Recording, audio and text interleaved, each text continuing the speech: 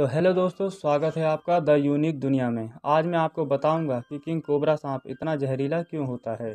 तो चलिए स्टार्ट करते हैं। दुनिया में पाए जाने वाले सबसे जहरीले सांपों में किंग कोबरा का नाम सबसे पहले आता है। किंग कोबरा भारत में पाया जाने वाला सबसे जहरीला सांप है। इसके डसने के बाद करीब आधे घंटे में इंसान की मौत हो सकती है। किंग कोबरा को नाग भी कहते हैं। भारत में सांप के काटने से सबसे ज़्यादा मौत का मामला कोबरा के डसने से सामने आता है। किंग कोबरा में कार्डियोटॉक्सिन और सिनोट्रिक और न्यूरोट्रॉक्सिन नामक जहर पाया जाता है। कोबरा सांप के डसते ही बॉडी का न्यूरो सिस्टम काम करना बंद कर देता है। इसके बाद इंसान को लकवा मार जाता है। किंग कोबरा का जहर इतना खतरनाक होता है कि इससे आँखों की रोशनी भी चली जाती है। कोबरा सांप की लंबाई एक से डेढ़ मीटर तक होती है। कोबरा परिवार में 300 प्रकार के सांप होते हैं। इनका जहर सीधे इंसान के तंत्रिका तंत्र में असर करता है। जैसे ही कोबरा सांप इंसान को डसता है, वैसे ही इंसान का फेफड़ा और दिल काम करना बंद कर देता है। इसके बाद इंसान की मौके पर ही मौत हो जाती है।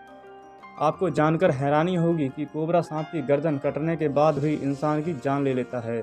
चीन में कुछ महीनों पहले एक ऐसा मामला सामने आया था कि एक शेफ ने कोबरा सांप की गर्दन काटकर उसका सूप बनाने जा रहा था।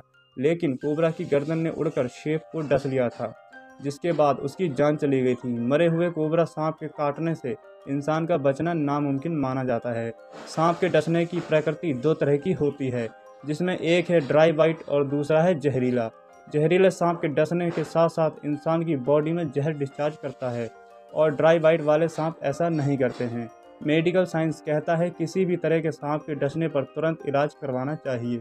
भले ही भारत को सपेरों का देश कहा जाता था, लेकिन सांप के डसने की घटना दुनिया के सबसे ज़्यादा अमेरिका में सामने आती है।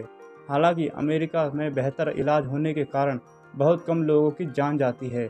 डब्ल्यूएचओ के अनुसार दुनिया भर में हर साल सांप के डसने की 50 लाख घटनाएँ होती हैं। इसमें से करीब एक लाख लोगों की मौत हो जाती है।